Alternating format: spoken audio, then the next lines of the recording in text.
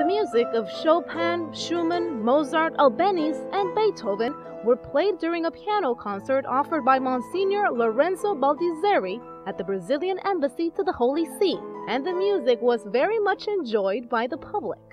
The piano keeps me company. I remember that Nelson Freire, a great pianist, once said, I play the piano and I know if it likes me or not.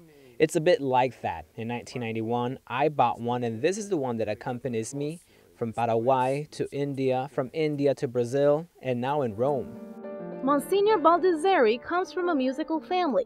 His father played the piano and guitar, and his brother is also a priest and a musician. During his youth, he sang and was often referred to as a gifted child with a pure voice. He even recorded an album. Beauty definitely elevates the spirit. I am sure that all artists have this dimension they cannot escape. They may be agnostic in the sense that they don't have a chosen religion, but they have God within them. His favorite is Chopin, whom he describes as a poet of the piano. In his case, music and solidarity go hand in hand.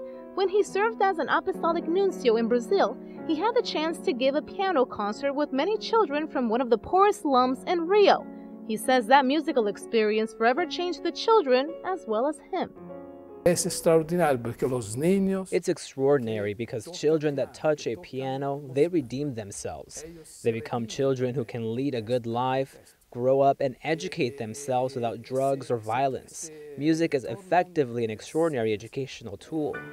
For about a year now, Baldisseri has served as a secretary for the Congregation of Bishops, which is the body in charge of selecting new bishops, organizing ad limina visits, and creating new dioceses. He also has extensive diplomatic experience. He has served as an apostolic nuncio for Haiti, Paraguay, India, Nepal, and Brazil. But wherever he goes, his music travels along with him.